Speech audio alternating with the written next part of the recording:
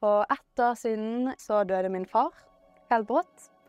Eh, og eh, i den sammenheng så måtte vi ta et valg om han skulle bli organdonor. Og da valgte vi å si ja.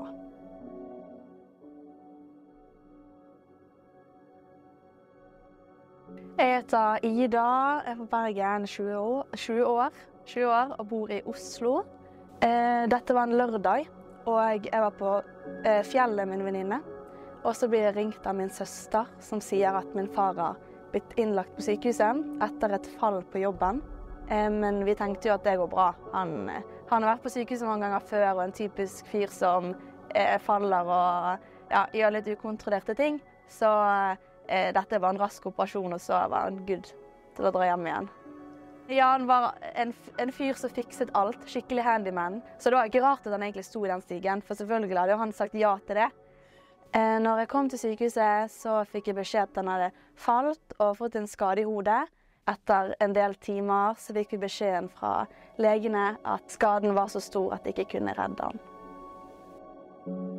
Vi fikk se pappa etter at legen har vært inne og sagt at han eh, var død. da. I løpet av den natten så stoppet han å puste selv og begynte på respirator. Og med respirator så ser det ut som han fortsatt puster og lever, bare at han sover. Um, så det er jo det som er så vanskelig å tenke selv, at han vil aldri være seg selv igjen. Uh, og han vil aldri våkne opp. Han er faktisk død, og han vil ikke komme tilbake. Hele familien var samlet når eh, vi ble spurt om uh, organdonasjon. Og vi var vel ganske sikre vi svarte ja med en gang, men i min familie så er det veldig viktig med demokrati.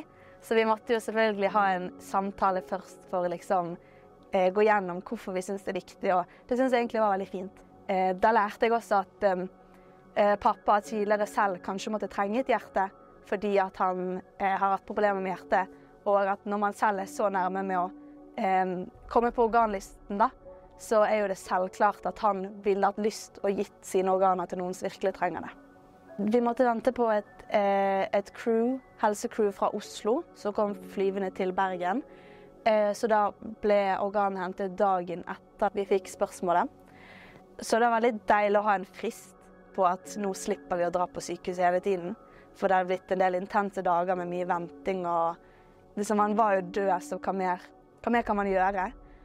Men eh, det er jo selvfølgelig veldig tøft. Og si ja, for da bekrefter man at det faktisk er sant. Og at da ser man ikke han puste lenger, da. Man ser ikke han i sengen. Da blir han liksom erklært død. Vi har fått beskjed at han har reddet to personer som var eh, i livstrue for å overleve, og en som trengte det for å forlenge livskvaliteten. Det er jo helt fantastisk. Når man står i noe helt forferdelig, så er det ingenting som er en trøst, men når man ser tilbake på det, så kjenner jeg utrolig liksom varme. At jeg vet at noen går med hans ja, organer. da. At han har faktisk gjort noe.